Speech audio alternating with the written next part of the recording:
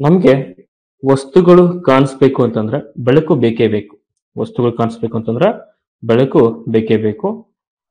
So ಇಲ್ಲಪ್ಪ ಅಂತಂದ್ರೆ ವಸ್ತುಗಳು ನಮ್ಗೆ ಏನಾಗಲಿ ಕಾಣಿಸೋದಿಲ್ಲ ಅಂತ ಹೇಳ್ತಾ ಇರ್ತೀವಿ. ಅಲ್ಲೂ ಅಷ್ಟೇ, ಬೆಳಕಿಗೆ ಸಂಬಂಧಪಟ್ಟಂತೆ ಕೆಲವೊಂದಿಷ್ಟು ನಿಯಮಗಳಾಗಿರಬಹುದು ಕೆಲವೊಂದು ಲಕ್ಷಣಗಳಾಗಿರಬಹುದು ದೆನ್ ಅವುಗಳಿಗೆ ಸಂಬಂಧಪಟ್ಟಂತೆ ಕೆಲವೊಂದಿಷ್ಟು ಆ ಥಿಯರಿಗಳಾಗಿರ್ಬೋದು ಇದೆಲ್ಲ ಬರ್ತಾ ಇರ್ತದ. ಅದ್ರ ಬಗ್ಗೆ ನಾವು ಒಂದೊಂದೇ ಒಂದೊಂದೇ ಡಿಸ್ಕಸ್ ಮಾಡ್ತಾ ಬರೋಣ. ಸೊ ಫಸ್ಟ್ ಒನ್ ನೋಡಿ ಏನಾಗಿದೆಪ್ಪ ಅಂತಂದ್ರೆ ಬೆಳಕಿನ ಗುಣಲಕ್ಷಣಗಳು ಅಂತ ಬರ್ತವೆ. ಅಂದ್ರೆ ಇಲ್ಲಿ ಕ್ಯಾರೆಕ್ಟರಿಸ್ಟಿಕ್ಸ್ ಆಫ್ ದಿ ಲೈಟ್ ಅಂತ ಕರಿತಾ ಇರ್ತೀವಿ. ಬೆಳಕಿನ ಗುಣಲಕ್ಷಣಗಳು ಕ್ಯಾರೆಕ್ಟರಿಸ್ಟಿಕ್ಸ್ ಆಫ್ ದಿ ಲೈಟ್ ಅಂತ ಹೇಳ್ತಾ ಇರ್ತೀವಿ. ಏನೇನು ಬೆಳಕು ಯಾವ ಲಕ್ಷಣಗಳನ್ನ ಹೊಂದಿದೆ ಹಾಗಾದ್ರೆ?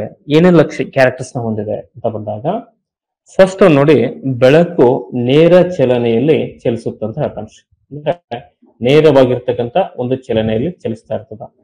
ಬೆಳಕಿನ ಈ ಒಂದು ಗುಣದಿಂದಾಗಿ ಏನಾಗ್ತಾವ ಅಂತಂದ್ರೆ ಗ್ರಹಣಗಳಾಗಿರ್ಬೋದು ಹಾಗೂ ವಸ್ತುವಿನ ನೆರಳು ಉಂಟಾಗುತ್ತೆ ಅಂತ ಹೇಳ್ತಾ ಇರ್ತೀವಿ ಈಗ ನಮಗೆ ಸೂರ್ಯನಿಂದ ಬೆಳಕು ಬರುತ್ತದ್ರಿ.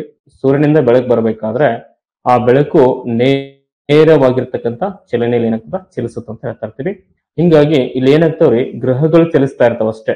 ಬಟ್ ಆ ಸೂರ್ಯ ಕಾನ್ಸ್ಟಂಟ್ ಆಗಿರ್ತಾನ ಹಂಗಾಗಿ ಬೆಳಕು ನಮ್ಗೆ ಕಾನ್ಸ್ಟಂಟ್ ಆಗಿ ಬರಬೇಕಾದ್ರೆ ಆ, ಈ ಒಂದು ನೇರ ಚಲನೆಯ ಮುಖಾಂತರವಾಗಿ ನಮಗೆ ಏನಾಗ್ತಾವ ಅಂತಂದ್ರೆ ಗ್ರಹಣಗಳು ಉಂಟಾಗೋದಾಗಿರ್ಬಹುದು ಮತ್ತೆ ವಸ್ತುವಿನ ನೆರಳು ಉಂಟಾಗೋದಾಗಿರ್ಬಹುದು ಕಂಡು ಬರ್ತಾ ಇರ್ತದೆ. ಫಸ್ಟ್ ಕ್ಯಾರೆಕ್ಟರ್ ಇನ್ನ ಎರಡನೇದಾದಂತ ಒಂದು ಲಕ್ಷಣ ಅಂತ ಬಂದಾಗ, ಬೆಳಕು ಕಣಗಳಿಂದ ಕೂಡಿದ್ದು ಈ ಕಣಗಳಿಗೆ ಫೋಟಾನ್ಗಳೆಂದು ಕರೀತಾ ಇರ್ತಾರೆ. ಅಂದ್ರೆ ಕ್ವಶನ್ ಕೇಳ್ತಾರೆ ನಮಗೆ, ಬೆಳಕು ಯಾವುದರಿಂದ ಕೂಡಿದೆ ಅಂತ ಹೇಳ್ತಾನ್ರಿ?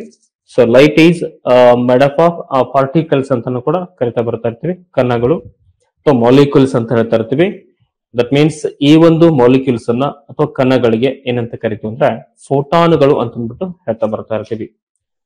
ಇಂತಹ ಫೋಟಾನ್ಗಳಿಂದ ಜೋಡಿಸಿರ್ತಕ್ಕಂಥ ರೇಖೆಯನ್ನೇ ನಾವೇನಂತ ಕರಿತೀವಿ ಅಂದ್ರೆ ರೇ ಅಂತ ಅಂದ್ಬಿಟ್ಟು ಕರಿತಾ ಬರ್ತಾ ಇರ್ತೀವಿ. ಉದಾಹರಣೆ ನೋಡಿ, ಇಲ್ಲೊಂದು ಕಣ ಇದೆ, ಇಲ್ಲೊಂದು ಕಣ ಇದೆ, ಇಲ್ಲೊಂದು ಕಣ ಇದೆ, ಇಲ್ಲೊಂದು ಕಣ ಇದೆ. ಬಟ್ ಇದನ್ನೆಲ್ಲ ಒಟ್ಟಾಗಿ ನಾವೇನಂತ ಕರಿತೀವ್ರಿ ಬೆಳಕಿನ ಒಂದು ರೇ ಅಂತ ಅಂದ್ಬಿಟ್ಟು ಕರಿತಾ ಬರ್ತಾ ಇರ್ತೀವಿ.